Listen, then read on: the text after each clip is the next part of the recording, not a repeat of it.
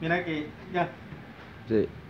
mira que en el tubo mismo hay dos, dos indicaciones. Uno dice cortocircuito o short circuit.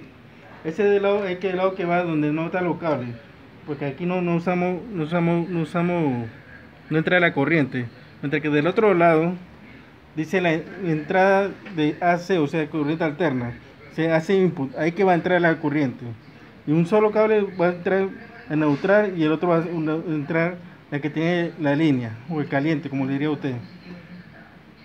Si se da cuenta, aquí en la lámpara, aquí está el, el de la línea y el neutral está de- de- del otro lado. O sea que está del lado derecho y la, la izquierda está el, de la línea. Esa es la forma de conectar. Y, y el cable sale detrás de la lámpara.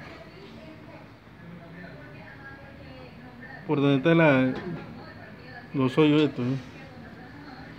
Ya.